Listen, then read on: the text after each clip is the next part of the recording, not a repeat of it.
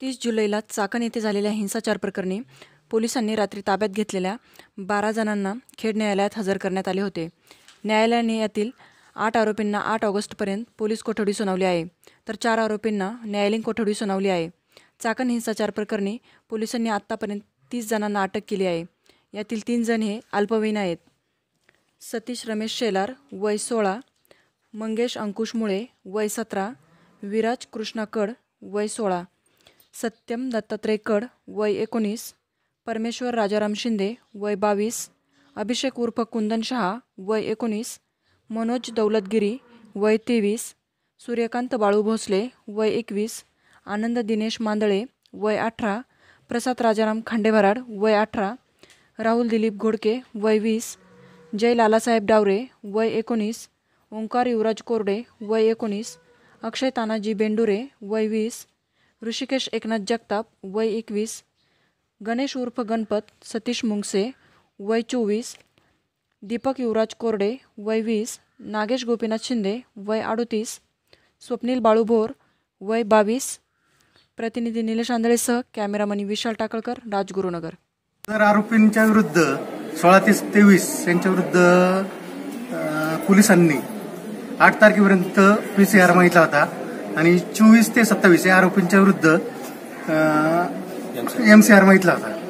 त्या याच्यात खेडबारतर्फे सर्व वकिलांनी वकीलपत्र दाखल करून मोफत सर्व वकिलांतर्फे म्हणजे आरोपींतर्फे हजर झालेले आहेत.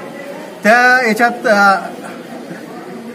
एम सी आर झालेले आरोपींच्या वतीने पण आणि आर झालेल्या आरोपींच्या वतीने सुद्धा सर्व वकील हजर आले त्या पीसीआर जे माहिती होती त्याची कारणं जी दिली होती त्याच्यावर युक्तिवाद करताना खेडबारच्या सभासद परदेशी वकील राक्षे वकील मी स्वतः पिंगळे व- सिनियर ॲडव्होकेट पिंगळे वकील यांनी आरोपींची बाजू मांडलेली आहे आणि सर्व वकिलांनी त्याच्या बाबतीत सहकार्य केलेलं आहे.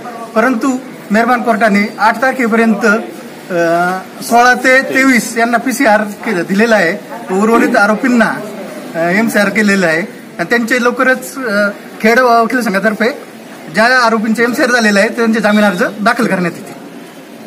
हे स्थानिक नाहीये असं असताना सुद्धा त्याच्यामध्ये अशा स्थानिक शिक्षण घेणाऱ्या मुलांवरती अशा प्रकारचे खोटे गुन्हे दाखल करून याच्यातनं शासन या मराठा मोर्चातल्या लोकांवर मोर्चाला तर बदनाम करायचं ठरवलेलंच आहे. आणि ज्या कोणा पोलीस कर्मचाऱ्यांवरती देखील हल्ले झाले असा जो काही प्रकार घडला तर त्यांच्याबद्दलची देखील चौकशी त्या ठिकाणी करावी खात्याने अशी सुद्धा आमची त्याच्यामध्ये विनंती आहे. कारण याच्यामध्ये केवळ जाणीवपूर्वक हे मराठा समाजाला बदनाम करण्यासाठी या ठिकाणी अशा प्रकारचे गुन्हे दाखल करत आहेत असं माझं म्हणणं आहे. तरी अशा प्रकारचे गुन्हे दाखल करण्याच्या याच्यामध्ये माननीय नांगरे साहेबांनी स्वतः पर्सनली लक्ष घालावं आणि जेणेकरून शिक्षण घेणाऱ्या मुलांवरती आणि अशा चुकीच्या पद्धतीने गुन्हे दाखल होऊन त्यांचं करिअर बर्बाद होऊ नये याची त्यांनी खबरदारी घ्यावी अशी माझी त्यांना विनंती आहे. नाव सांगा. माझं नाव मी ॲडव्होकेट ज्ञानेश्वर शांताराम रोडे.